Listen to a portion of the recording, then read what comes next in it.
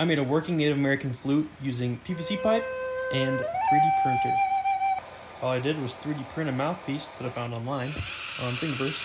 I drilled the holes according to the specs that I found in a Native American flute making chart online calculator and then simply attached it and boom we got a flute